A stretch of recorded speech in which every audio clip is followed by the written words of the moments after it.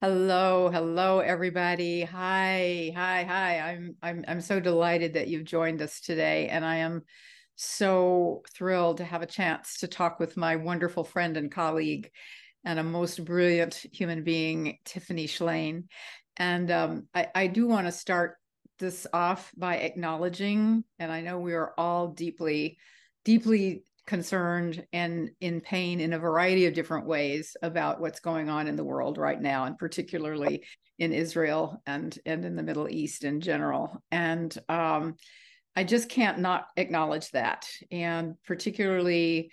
It's very relevant, very dear and raw to both Tiffany and myself as Jewish women with family and friends in Israel, many of whom we don't even know what their situation is. And so we felt that it was important to go forward with this conversation because really what we're talking about today is is our our mandate um, as Jewish women to repair the world. That's what we're supposed to be doing.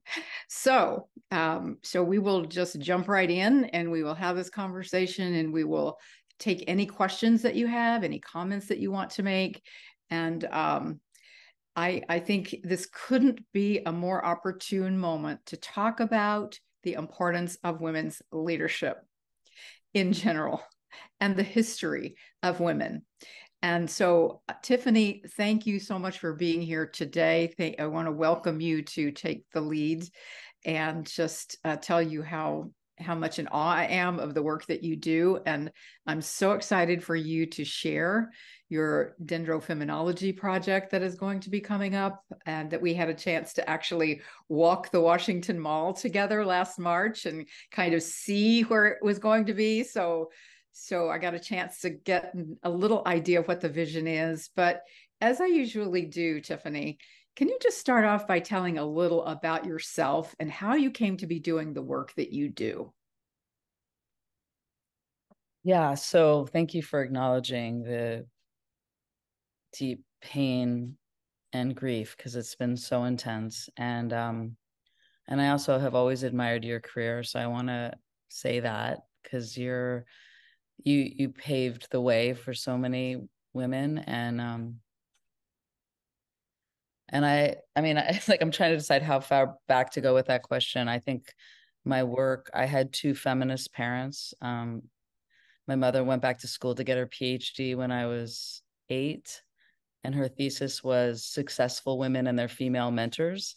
Mm-hmm. and we studied alongside of each other and it took her a long time to get a phd because she was also a mom and um, so watching her do that um, and unfortunately in her generation there was a lot of women that felt like they had to divorce to have careers so i also saw the pain of that and experienced it as a child and then i also had a father who's no longer with us but he was a surgeon, but he also was a brilliant writer. And he wrote a lot about feminism. He wrote a book called The Alphabet versus the Goddess, the conflict between word and image. And his big question in the book was why was it that in every single civilization worshiped goddesses and women? And what was the single event that kept happening in every part of the world that changed the goddesses to gods and the degradation of women and patriarchy? So that was like the book I heard. And then he wrote another book called Sex, Sex, Time, and Power How Female Sexuality Shaped Human Evolution. And he wrote about in that book how women, the moment that they understood that they could die from childbirth and they said no to sex, was when they took back their power and when, when men wanted to take their power back, as we're still seeing today. So that is the DNA I grew up with and the stories I heard and the things they were thinking about that they shared with me all the time. And I think my work is very much from that. And, you know, I, I started my, I was a filmmaker who always worked in technology to pay for my films. And one of those stints, like getting out of debt on a documentary, was founding the Webby Awards because I was super into technology. So in my 20s, I was um, a very young leader in technology where there was hardly any women and i was telling the world that the web was going to change the way we lived and worked mm-hmm. and started this award show that became very big at a very um, the first wave of the web when not many people knew what it was so i spent a decade doing that but um, when i was doing the webby awards um, you know, I'd always heard my father, I told you, was a surgeon, and he used to tell me about um, being in the emergency room with women who would be who die by giving themselves an abortion with a hanger. Mm-hmm. And he told me those stories, and it left such an impression on me. So here I was running the Webby Awards. I'm in my 20s at this point. Maybe maybe I was 31 at this point because I'd been I ran it for nearly a decade. And um, and George W. Bush got into power. Um, and the very first thing he did was took away funding for international family planning, which I'm sure you were running Planned oh, Parenthood. Oh yes, oh, yes, yes, yes. I remember that well. um, 2002. George yeah. W. Yeah, it would be. Yeah. yeah. Is that right? 2001, 2002.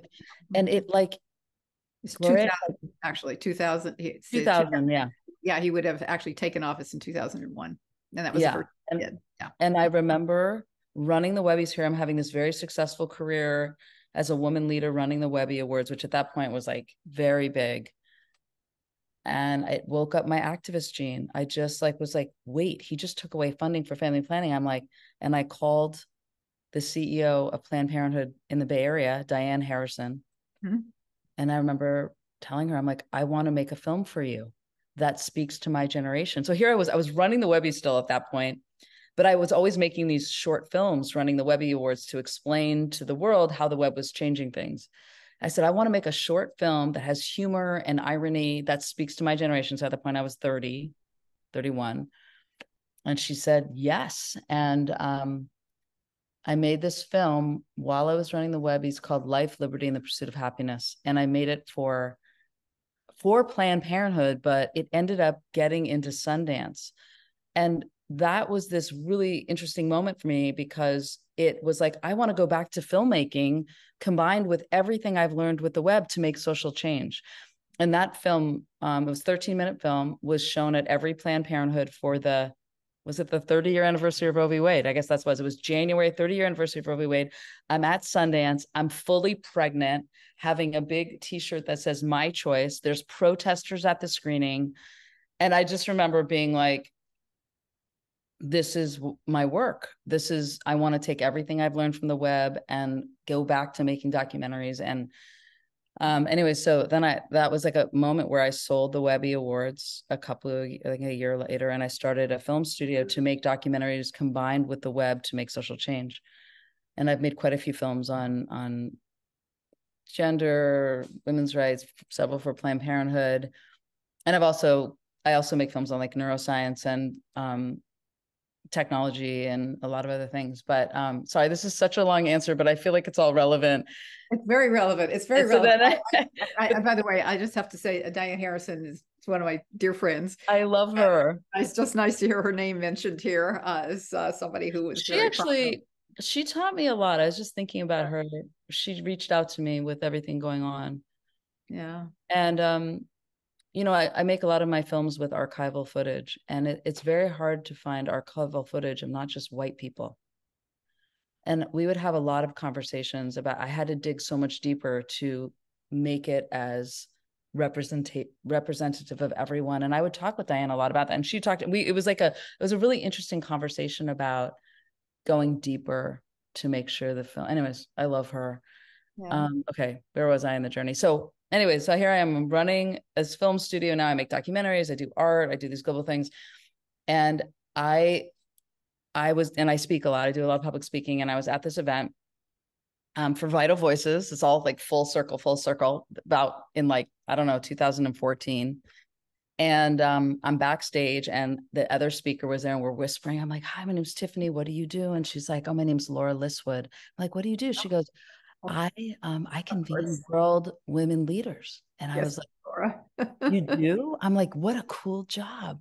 Huh? And she understood I convene world president women presidents right. and heads of states. It wasn't just leaders, presidents right. and heads of states of countries. And I was like, that's so amazing. And we're like whispering, I'm like, how many are there? I mean, how many are you gathering? and she said, 50. And I was like, there's 50? I'm a total feminist. I didn't know there was that many. And then that started me on this whole film called 50 50, which it was about me going back into history in my dad's books, in my own history about women leaders throughout history. Mm-hmm. And I made this film called 50 50, The Past, Present, and Future of Women in Leadership, or Women in Power. And it premiered at TED Women and on Refinery 29, when that was still a thing, in two weeks before the election, 2016, when we thought we were going to get our first woman president. Mm-hmm. And that, and it ends with this incredible montage of any woman president holding up their hand, swearing the oath. I mean, it's like, and and then Trump won. And I was like, we were all kind of like the way I've been feeling this week, just this sinking, sinking feeling. And I thought, well, I'm going to create 50 50 day.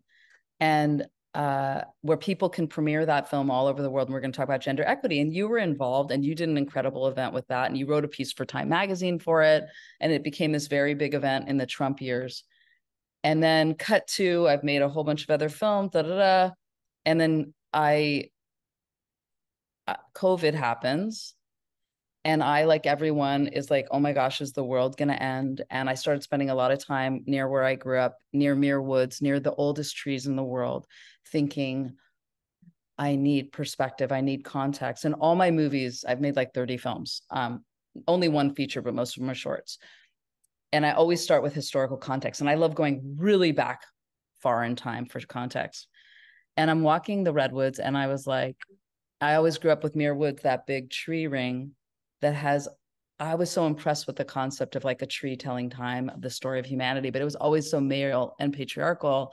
So I thought, I and I started creating art during COVID, and I thought I want to create a feminist history tree ring, and it was like such a breakthrough creative moment for me. I'm like, I have two daughters. I'm a total feminist. I want to see it. I want to see women's names on that.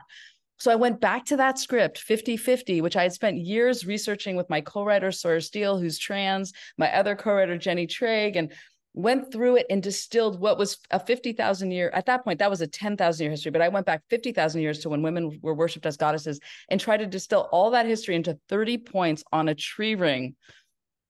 And I made this piece called Dendrofemonology, a feminist history tree ring I showed it to Dr. Nancy O'Reilly. She's like, you have to show it to the National Women's History Museum. Long story. I had a big exhibit last uh, November called Human Nature, and that was the centerpiece sculpture. And in two and a half weeks, that piece, a feminist history tree ring, will be on the National Mall, November 1st through 4th. And we're having a big feminist gathering. And the off the mall headquarters will be at Vital Voices. So it's so full circle to that Laura Liswood story from like eight years ago. Anyway, so it almost feels like all of my work is leading to this moment. And that was the longest answer. I'm so sorry. no, I, I think that's great because you really did. Uh, there are several several things that were striking to me as you were talking, Tiffany.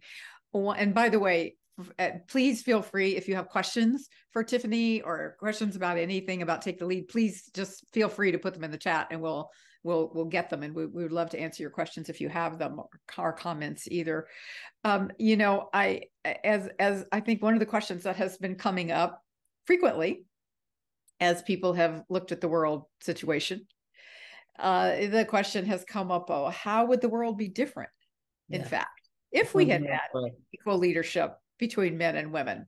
Now, I will tell you that if you Google the question of are women less likely to start a war, you will find that the answer, the, the, the, they'll try to give you a no answer. The, uh, the answer is no, that because there are there are queens, through, particularly royals through the years, who have been the figureheads. Right, but have, they weren't elected. But anyways, that's right. That's right. It, and, and they were they were in their positions because they were able to assume more like male leadership qualities. Yes. That is that is there's no question about that.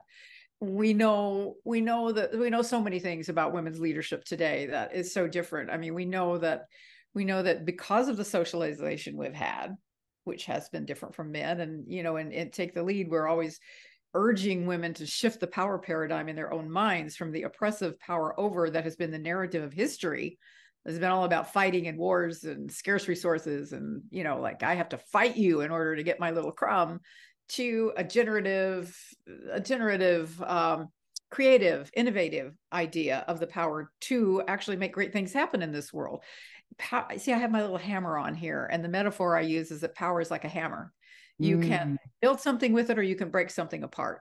And and you're all or you can build something Yeah, build exactly. That's it. And and you're all about building. You're all yes. about building something and looking at that history. And I also have a very long list of women who have been left out of history, who yeah. actually did invent things, who actually did yes. start things, and and they were just either either their uh, what they did was was um, either the men involved just took credit for it, or right. just simply left out of history because you know they were just women. And I, I, I really think that that question of what would the world be like if mm-hmm. women and men held equal positions of power is a great one for everybody to think about and to think about what could be different. What could we make different? Yeah. What you're doing is you're offering people the chance to actually think about that in a very visceral, visual kind yeah. of way.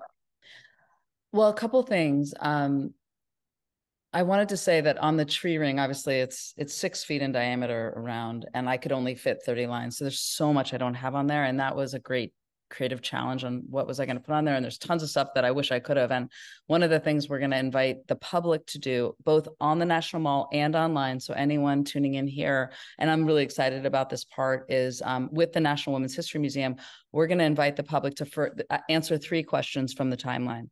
One is what's a line on there that's shaped you or paved a path for you and why? Two, what's something that is not on here that you want on there? And then we're going to be making almost like a wiki version of this timeline that's much longer, gorgeous, includes everything that we feel like should be on there. And then third, what do you hope is voted on there next? So um, you know, I'm, I'm really excited to, you know, as an artist, you have to distill. That is what filmmaking and making any art, but I'm excited to open source that also. And um, it'd be great to have your work on there. And um, I think the question of what would the world look like if there was more equity in leadership, whether it's women, non-binary, the whole gender spectrum. I, I mean, I, I as a mother watching in horror at everything. And i know you said the data is that that women lead wars but i just i just in my heart in my heart i don't believe that i don't believe that creators of life would so easily take it away. I just don't. I i have to speak my truth. These days are so hard and there's so much death and suffering right now and i like all you can go to is like what you know in your kishkis, which is like a Yiddish word for like your gut. And I just don't believe that.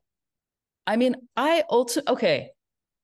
The reason this power dynamic of like men wanting to control our bodies is, I think, ultimately because they can't have life, they can't create life in their own bodies. And that is a very powerful skill that only we can do.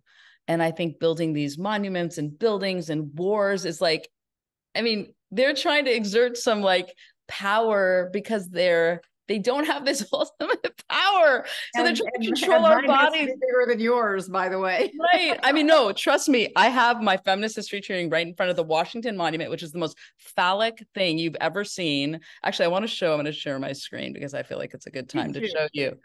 Show you what where I'm putting it. there it is. Let me know. Do you all see that?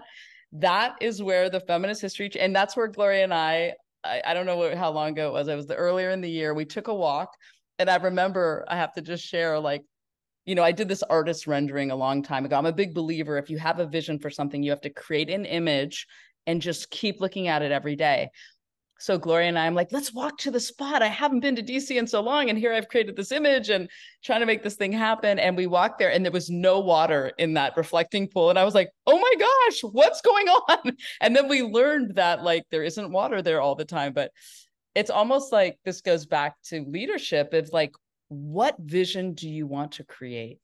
Mm. This is a vision I want to create in our nation's capital that we are part of this country, our contributions matter.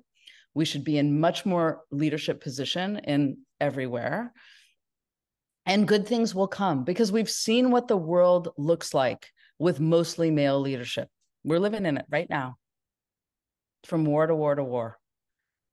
And, um, you know, in a lot of ways, I mean, the irony is like that this is happening amidst among I don't know the right word among this all. I'm so like I haven't slept very much this week. Um, all we can do is, like I said, cling to what we know is true for ourselves, believe in greater humanity, and and still, and I'm clinging to this one to a non-violent world where we can all coexist an interdependent world where we all the cause and effect is just always there and we have to put forth the world we want. So this four day activation in dc which i hope you'll join us in person but there's also lots of ways to join online is a vision for the world that i want to create. And i want to with all the people coming we have leaders from the feminist movement coming in from all over the country.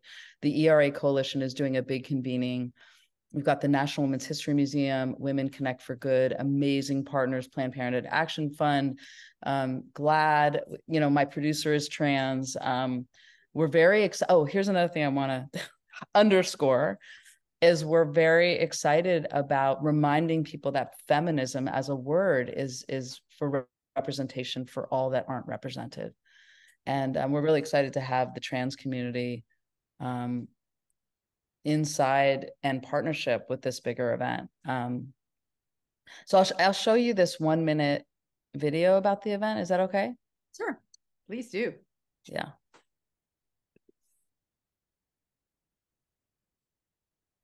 I was always fascinated by that tree ring at the entrance of Muir Woods or any national park. But they're usually so patriarchal and colonialist, like Christopher Columbus discovered America, like it was being mansplained history.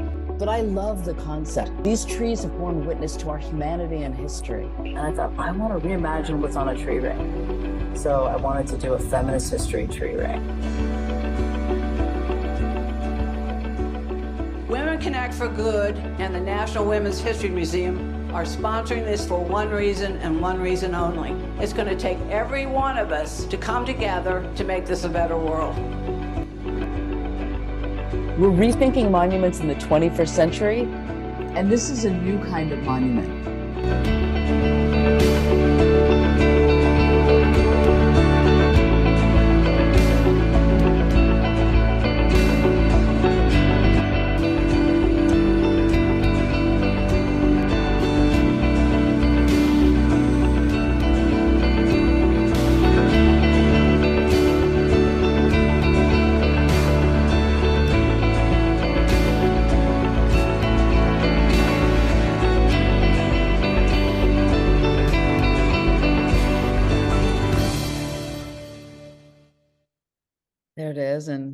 Take the Lead is also a wonderful partner. And it's going to be a real coming together. And I, you know, when the Dobbs decision happened, it's like nothing happened. Nothing. We didn't march. We didn't. I think we were also devastated. And I know there was a Seneca Falls gathering recently, but I feel like there there's never enough gatherings right now. And I'm really I feel like it's gonna feel really good to gather in DC.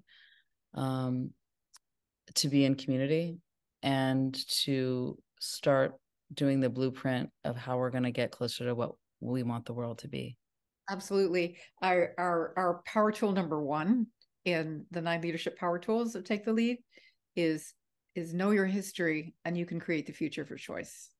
Mm. Or know your history you you can't you can't you can't really understand who you are as a human being you can't understand the forces that have shaped you and you can't really then have a vision for what you want the future to be. So mm, you are doing so powerful.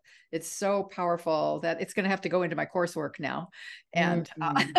uh- I love that that's your first. It is history. I mean, you know, I told you all of my films. Like if you watch any one of my films, I spend the first establishing part of the film like let's go really far back and and i mean the good news is if you go really far back on a lot of issues we are we are moving forward i know it doesn't feel that way but historically like and progress doesn't always go forward it goes like this and you have to keep pushing to make it go forward and th- that kind of engagement is just so vital. Um, but knowing history e- even even what's happening in the world today a lot of people don't really understand it. It is a, and i think that's that's also part is like understanding history and context and it's so important have to know where how you got to where you are. You have to know what you know how how that all happened or, or else you can't really properly judge what needs to be done to fix whatever the problem is right now. And I I was thinking I'm I'm going to take a little bit of a of a sidetrack here because because um, I would be remiss if I did not mention the next program that Take the Lead is about to launch, which is called 50 Women Can Change the World in Entrepreneurship. And I just wanted to mention what an amazing entrepreneur you are. Tiffany Shlain, you have obviously figured out how to do what so many artists have never done, which you is know, it's a funny word because create a, well, create a it's interesting because somebody these things, these big visions that you've had. I never use that. It's a funny. A friend of mine kind of called me out on it recently because there we're part of like this women groups and there's like an entrepreneur group within the women's group. She's like, "Why aren't you part of that?" And I was like, I just never like. I don't ever and I do see people in their bios list entrepreneur. And I have been. I mean, I've started a lot of things in my life and I figure out how to get the supporters to make it happen. But it's a funny thing. You know why I think I don't use the word entrepreneur, which I'm so curious. I think it sounds like a solo thing. Like I'm a convener. And uh-huh. and actually this entrepreneur group that she was trying to get me to join is called Solopreneur. Oh. Because it oh. was specifically for women that run their own businesses. Right. Uh-huh. Yeah. And you know, and I have run my own business my whole life. I mean, first the Webby Awards. Um, I mean, I always had a big team, but right now my film studios, my art studios, it's like it's a small team, but a mighty team. We've worked together for 18 years. And then we have lots of people we work with on specific projects. But I think that word is really interesting. What's the root of entrepreneur? I'm I don't know. I don't know, but I am going to find out because yeah, I, I think it should in order to do this program. But I, I will tell you that our you know what what we are so there are a couple of reasons for doing it right now one is that and probably the most important one right now is that women are starting new businesses at an astonishing rate hmm. women of color more than more than the average yeah. uh, it, it's and there are many good reasons for it number one you realize you can create your own culture right. business you can create your own culture within that. and that. the culture yeah. you've been trying to work in has not been a good fit for you or has not felt right to you or you've not been appreciated or you have been dismissed in some way. Eh, to start your own business and eh, it enables you to create the culture that that you want to create. Now let me I just love say that you said that not easy but no uh, i mean even like all the zoom like the biggest result from the pandemic is the work life change. Like if you would have told me seven years ago that so many people can work remotely and be home for their kids and like that and the truth is is it hasn't been that much of a change for me and my company because I always ran it that way. We always were part remote and I always I unplug on the weekends. So I'm not emailing my staff on the weekends, all these things that people are now demanding. But I didn't want to interrupt you. You said there was another point for the entrepreneur group. Oh, well, well, so so I think that, you know, there's been all this chatter about about women uh, not coming back into the workforce and companies right. trying to get come back into the workforce. And uh, the competition is not other companies. The competition is women deciding to start their own company so that they can live their passion, live their joy, and at the same time provide for their provide for their families. And so our purpose in having our 50 women can change the world in entrepreneurship is one of the sectors that we are addressing right now because we've we've done these programs for journalists we've done them for media and entertainment we've done them for healthcare law what else? Uh i'm sure there's something else that i'm forgetting but uh but it, we um we hadn't done something for for women in business and women owned businesses need to think bigger what our goal is is to help the women actually be in touch with the power they have to have high levels of intention for mm. their businesses and to think like you think about what is the biggest well, actually, I no, I mean that. Can I can I have this art installation on the on the Capitol Mall? Why not? Why, Why the fuck not? Well, you know, I have to tell you, uh, and again, this goes back to my parents. My dad, Leonard Shlain, who died like 14 years ago, we were incredibly close. He used to always say to me, "Think big."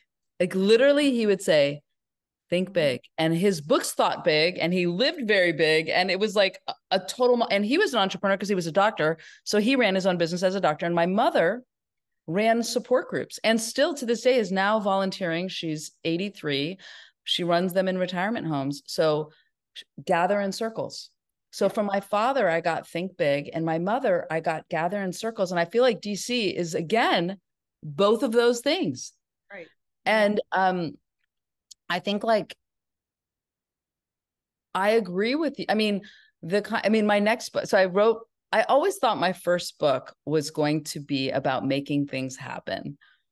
That was the book I always thought I was meant to write. Because a lot of people say, "How did you start the book? How did you do this?" And I was like, "I actually now at 53, I have a I have a system. I have a process. I have a a steps I go through, and I want to share it. Like I feel like that'd be really like I want to share what I've learned."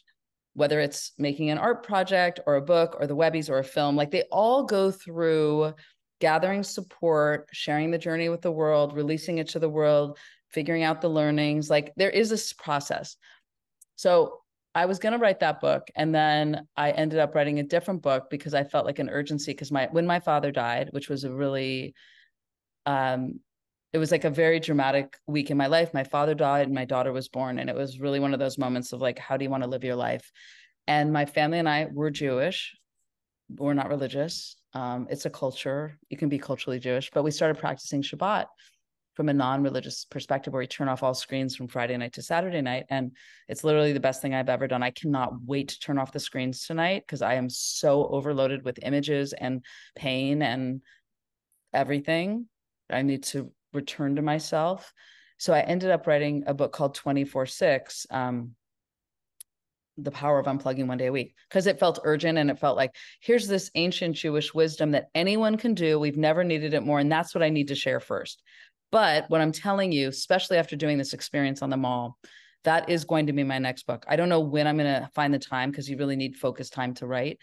But I, that idea of not only making things happen, but I think what you're speaking to with your group is like, think as big as you can think as big as you can and make that image like the making of that artist rendering that I made a year ago was a very big part of my process. Make the image of what you want to have happen and they will come. Love that. You know? Yes, absolutely. You have to have the vision to start with.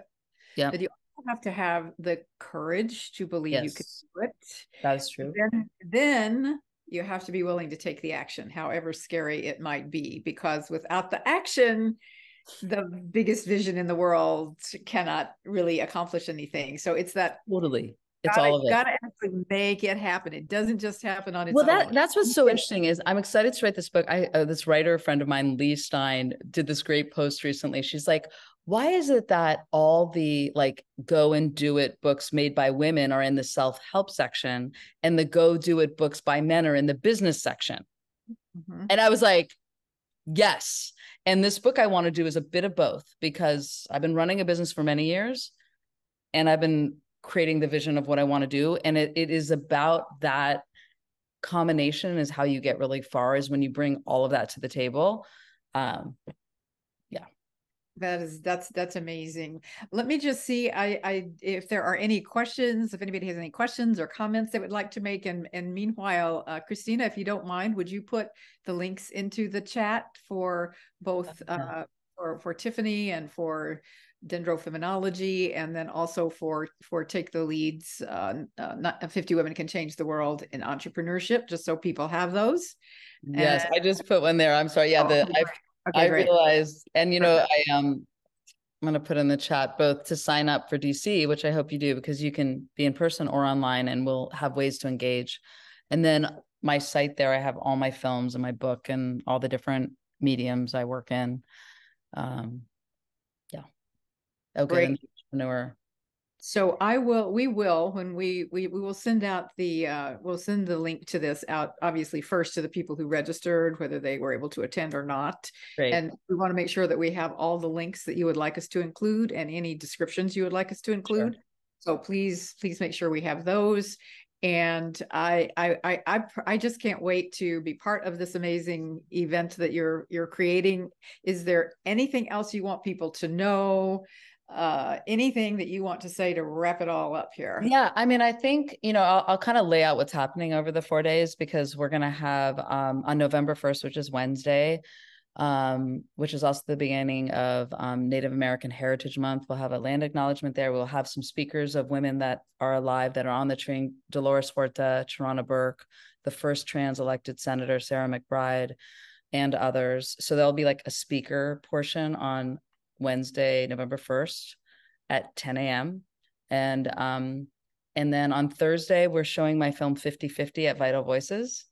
And there's an artist um, named Whitney Bradshaw that does photographs women screaming, and she's going to be doing photographing women. And then on Friday, the ERA is having a convening at Vital Voices, which is wonderful. Already 80 organizations are going to be there to talk about the roadmap and and then there's going to be a reception and then we're all walking back to the feminist history tree ring and there's going to be an interfaith shabbat candlelight and i think really healing shabbat. Um, and then we're going to have a silent disco which i also think will be healing. And then on saturday um, the artist um, michele pred is going to be leading a feminist art parade from the white house to my sculpture and then we're going to have a flash mob dance. And there's also an artist named autumn breon who is um, bringing her care machine, which is a vending machine of banned books and abortion pills. And so there's going to be a lot. And we also have Voters of Tomorrow will be registering people to vote. So we have, um, and then one more thing um, Rozella Kennedy is an author of Our Brave Foremothers. She wrote a great book and she's curating a list of 20 feminist books. So we have a lot going on. So if you're not in DC and you still want to participate, you can please sign up at that link because at the end of each day, we'll be doing two to three minute recaps and we'll have a we'll have ways for you to engage with these questions we're asking about the tree ring. And um there we're gonna have you know be, it's a community. Listen right now i feel like the the best moments in this very painful time are being in community. So you will be amongst all the feminist thinkers um, that are gathered. And thank you Gloria. If, if there are other organizations that want to join up with your coalition yeah. what should they do Good. I will um, write my producer of 18 years, his name in the chat, and they can write to him, um, Sawyer Steele. And yeah, and so there's lots of ways to plug and engage and be a part of this. We it's open for everyone. Fantastic, fantastic. Well, you are you are truly amazing. Uh, it's uh, I can't wait to be there. Did you want to show people the background in your studio? Oh yeah, yeah.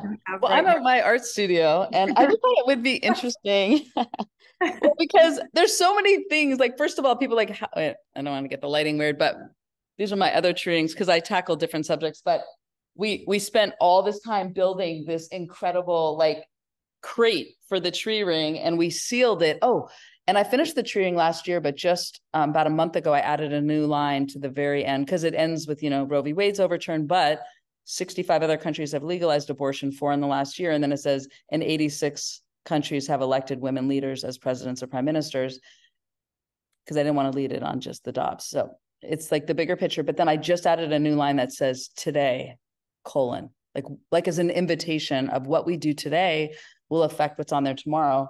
And then this um, artist and friend of mine, Randy Philosophy, built this huge stand that's like as sturdy as sturdy can be to be on the Washington. so it's, you know, it's funny when people like, how does it happen? There's like a lot of details to make. An art shipper is coming on Monday to send it, and she's a female-owned art shipper, trucking it across the country to DC. There's like a million details, and we have meetings with the National Park Service. It's like I have learned so much in the last year. And I love, I love learning new things. I have learned so I have learned so much. People like, how do you get an art piece on the National Mall? Like, let me tell you. well, you know, it just goes to show that any all things are possible. Anything can be done. Exactly. And, uh, and, and, and, and, and you're doing it and you're doing it. So it's very exciting. I can't wait to be there with you. And um, thank you so much for joining us today. I, I, I hope that everybody who has watched it today and who will watch it as we post it on social media in the future will will join up with this amazing event be there in washington either virtually or in person oh wait i thought one more thing i forgot to say is that um, we just got a grant to make a, a film about this all, which is very, that's my first language is filmmaking. So we, so when you go to either the DC page or Tiffany Shlain, I have a monthly newsletter, which you'll find out about then, but we're going to be basically inviting people to read lines from the tree ring. Mm. And then we will turn it into a very powerful short film, probably like four minutes. And then we are going to offer it back up for free to social profit organizations all over who want to use it themselves. And that is a model we've perfected at my film studio of like answering the question of like when I made that film for Planned Parenthood, after that, so many other um, 501c3s were like, "Can you make a film for me? Can you?" And I couldn't, as I I have my own projects, and that was my passion project is reproductive rights. But I thought, what if I made one film that spoke to such a high level, and I just would change the last line of it to be the mission of the social profit and put their logo. I call them cloud films we are doing that for this film. So there will be a short film about this art activation and having people all over the country, all different ages, backgrounds, reading lines from the tree ring. And then we'll be offering it back up for organizations to use themselves as their own film with their own logo. So if you want to stay posted on any of that, you can just yes. sign up my newsletter.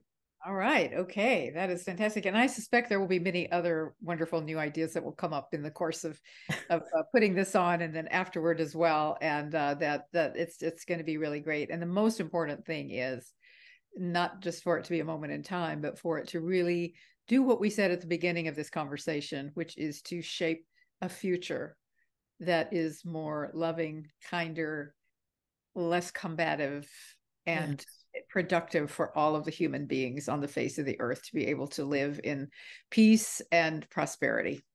Amen. That is exactly the way I feel. And I think more love, more leadership from a different place. Yes. I think that's the perfect ending. Thank you. Thank you so much, Tiffany. Thank you, Gloria. I always love talking to you. Thank you.